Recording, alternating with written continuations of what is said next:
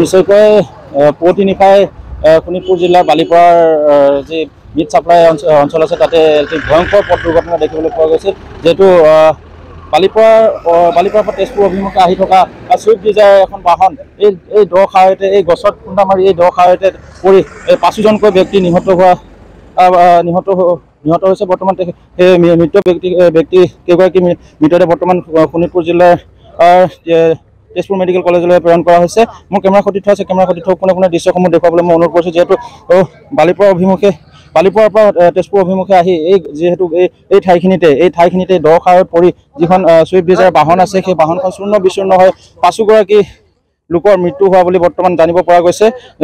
যিহেতু মৃত ব্যক্তিসকলৰ ভিতৰত দুজনৰ পৰিচয় বৰ্তমান জানিব পৰা গৈছে।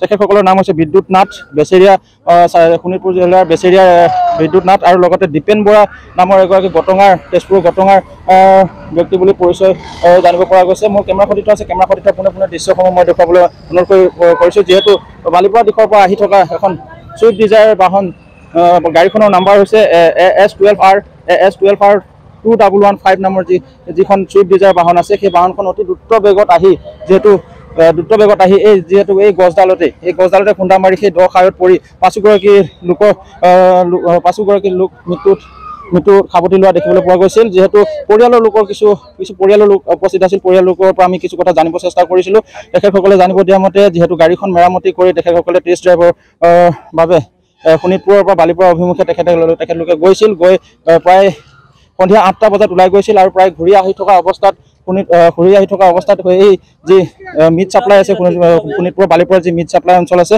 তাতে এই দ সাৰত আহ, তীব্ৰ বেগত খুন্দা মাৰি এই বাহনখন চূৰ্ণ বিচূৰ্ণ হৈ হৈ লগতে লগতে চূৰ্ণ- চূৰ্ণ বিচূৰ্ণ হোৱাৰ লগতে পাঁচোগৰাকী যি ব্যক্তি আছিল ব্যক্তিকেইগৰাকী মৃত্যুমুখত পৰা বুলি আমি জানিব পাৰিছোঁ যিহেতু মোৰ লগত এগৰাকী লোক আছে তেখেতৰ পৰা তেখেতৰ পৰা আমি কিছু কথা জানিব চেষ্টা কৰিম দাদা কেনে কি হৈছিল মইতো নাজানো মইতো দেৰিকে আহিলো।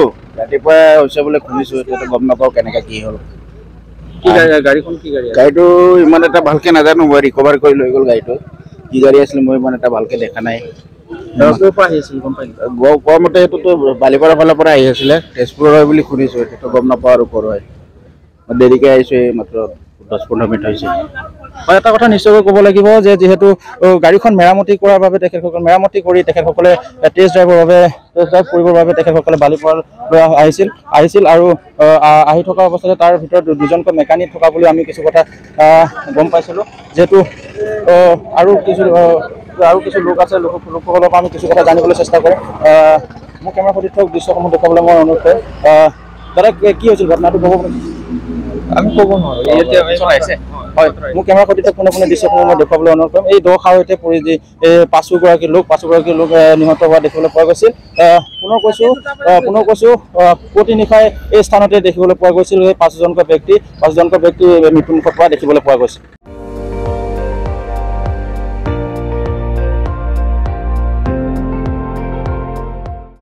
আপুনি চাই আছে এন ডি টুৱেণ্টি ফ'ৰ।